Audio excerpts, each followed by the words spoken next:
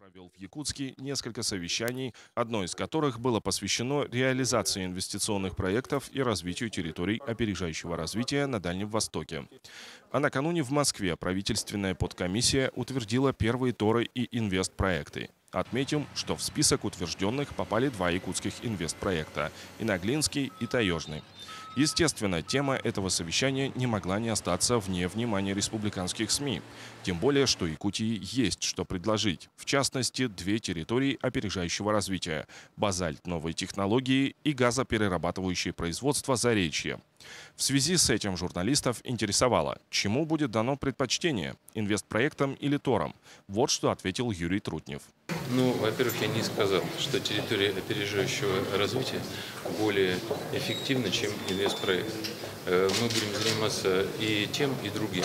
Просто э, территория опережающего развития дают больше кумулятивный эффект. Они, открывают, они создают площадку для развития многих бизнесов. И э, мы сегодня, когда создаем э, территорию опережающего развития, мы прежде всего говорим о якорных инвесторах, просто для того, чтобы быть уверенным, что там на э, этой площадке будут новые предприятия. Но мы исходим из того, что якорная – это только начало, а дальше у нас будет площадка, причем площадка выверенная с точки зрения инфраструктуры, местоположения, на которую могут прийти другие инвесторы и создать новые предприятия. То есть это просто с точки зрения длительного эффекта более выгодная история. Ну а с точки зрения того, что поддержим, я надеюсь, что э, мы поддержим и тот, и другой проект. Э, сейчас э, мяч не на нашей стороне, сейчас мяч на стороне инвесторов, потому что по всем проектам, которые мы сейчас проговорили, идет, как правило, разработка технико-экономического обоснования проекта, э, э, решаются вопросы обеспечения финансирования, поэтому мы сегодня задерживаемся с принятием решения о создании территории опережающего развития здесь, в республике, не потому, что мы к этому не готовы, а потому что проекты надо довести до конца.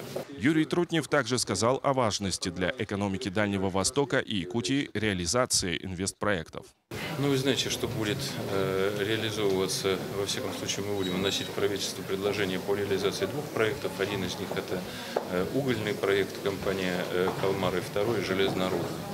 Ну, вы знаете, мне кажется, что здесь даже не стоит э, объяснять, насколько важно создание новых предприятий, тем более в республике Саха-Якутия, которая обладает достаточно жесткими условиями с точки зрения э, природы, климата, поэтому создавать здесь условия для работы людей, это значит создавать условия для пополнения бюджета, для решения социальных задач, в общем, для развития республики в целом.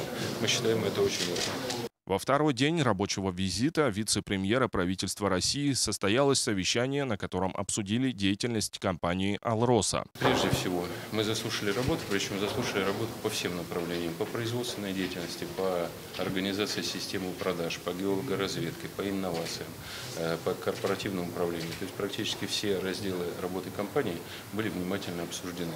Эм, что еще являлось, кроме вот этого обсуждения информации целью? Э, мы э, очень внимательно проанализировали те вопросы, где правительство может помочь э, в рабочей компании. Сегодня существует целый ряд направлений, по которым нормативное регулирование недостаточно точно учитывает особенности работы компании «Алрос». Ну, это связано, например, с привязкой новых площадей, новых участков целый ряд других вопросов отражалось. По всем этим вопросам мы э, дадим поручение, э, и федеральные органы исполнительной власти будут совершенствовать нормативную деятельность, уточнять нормативные акты, если потребуются законы, таким образом, чтобы они не мешали, а помогали компании работать. Вот, наверное, основные направления. Очевидно, мы провели обсуждение совместно с э, Егором Афанасьевичем, с э, руководством Республики Саха-Якутия, потому что у нас не может быть разных позиций.